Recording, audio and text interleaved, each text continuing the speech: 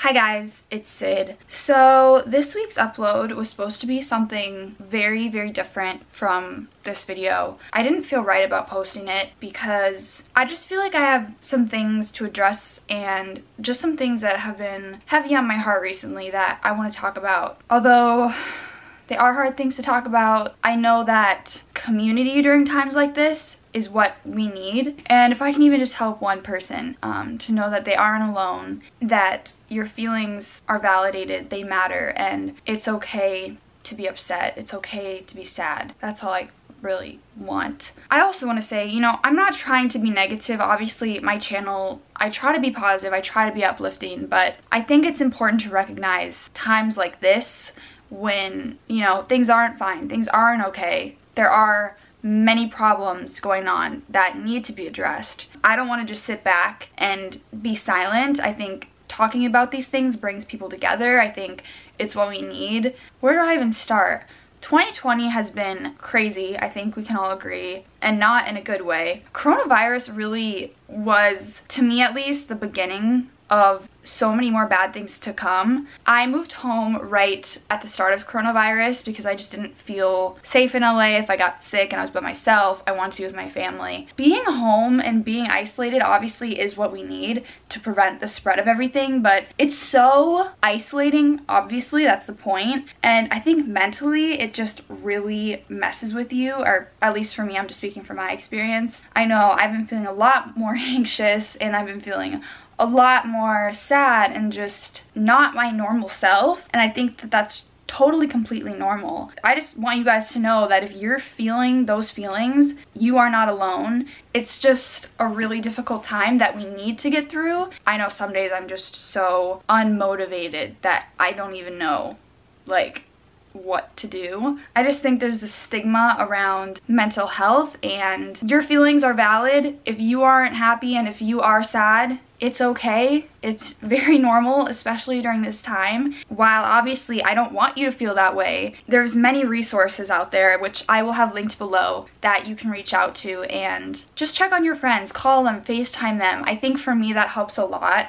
Your friend is a phone call away. And just try to use the time to get creative and make the most of it and I know that's way easier said than done. Even like I just said, talking to your friends and family is a big game changer. So I just wanted to throw that out there. Um, I tried talking about this before. Recently, I'm not sure if you heard or not, um, I posted about it on my Instagram and I tried to film a video about it and I just couldn't do it.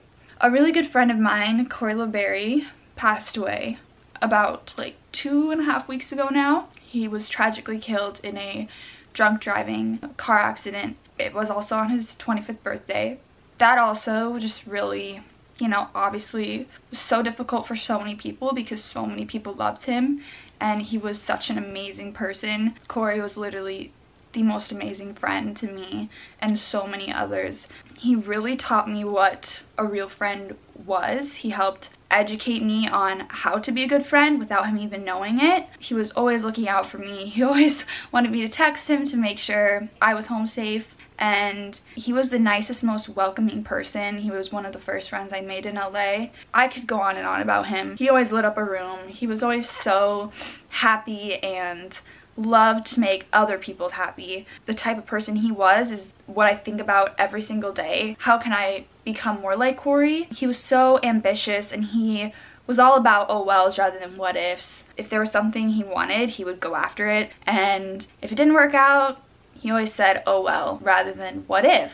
I tried this or ran after that goal that I wanted. Thank you guys so much for sending so much love to him and his family and friends. He has gotten so much love and I'm so grateful to see that. Thank you so much to everyone who's donated to his GoFundMe. I will leave a link to it down below because it is still up and running um, if you do want to donate to his family. I just want to use this second to remind you to please tell your friends and family that you really do love them because you never know what's gonna happen I'll never forget that last FaceTime call that I had with Corey just a couple days before. He was so excited and he was so happy, so full of life and you never would expect something like that to happen to anyone.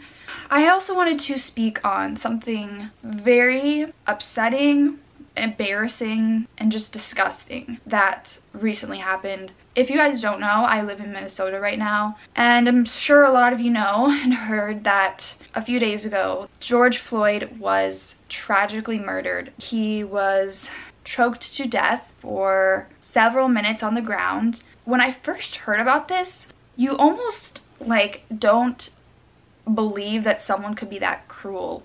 I'm so sorry to George Floyd's family, to his friends, to people of color to have to keep dealing with these issues. There's no way to justify this incident. What we can do is talk about it, bring awareness to the situation, and not remain silent because being silent in situations like this does in a way promote the injustice. And I think the least we can do is come together for not only him but for the community of colored individuals so that social injustices like these stop happening because I know these things happen more often than we even realize. Not all of them are recorded. This one happened to be recorded, which thankfully it was so that way it got the attention it deserved. But there are so many others that aren't recorded and were not shown to the media. You know, I understand I am not a person of color and I understand that I cannot even understand fully what people of color go through and experience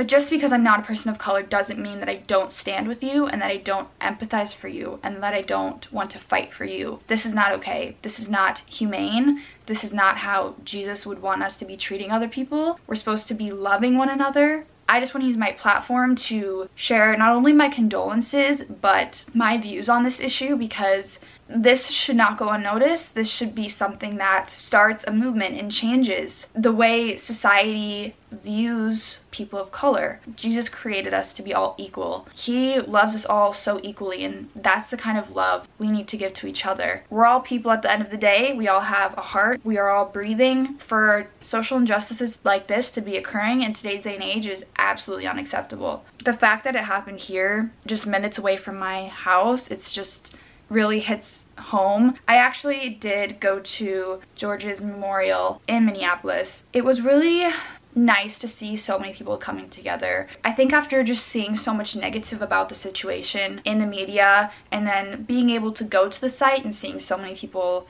gathered together, sharing love for him and putting down flowers, remembering him, and also raising awareness for people of color and equality. It was very humbling and just such an amazing thing to witness this all starts with us and change is needed and is necessary. I will leave links for ways you can help George Floyd and the discrimination issue we are facing today down below and you can check them out. Educate yourself, you can donate, you can sign petitions. There's so many things you can do during this time. I know this video was very different from what I usually upload, but I hope it makes you feel less alone if you are feeling maybe similar to how I'm feeling. And I hope that if you are not in a good mental state, that you reach out to friends, you reach out to family. And if you need to reach out to get help, again, those links are down below for you guys. It's okay not to be okay, but try to reach out to your friends and family. There are so many people that love you. Use this time to just reflect, think, pick up a book, get off your phone, get off social media. I've been reading some really good books recently and that's been really nice and really just eye-opening to get off my phone. I really wanted to make this video because I do know how I have a platform and I want to use it for bigger issues such as these that I just spoke about and I hope this did bring light to those issues. For those of you who are spreading so much love and are posting about these things that need to be talked about, thank you. That's a very courageous uh, effort and I admire you for that. Let's keep going. Let's keep encouraging each other. Let's keep trying to change the world for the better. We are all in this together, and although this is a very difficult time for very many different reasons, I hope we can stand together and I hope we can speak more on the issues that matter. I know we can make change, and we are the next generation, so we have a lot of responsibility. I love you guys so much. Thank you very much for watching, and I'll see you in my next video. Bye, guys.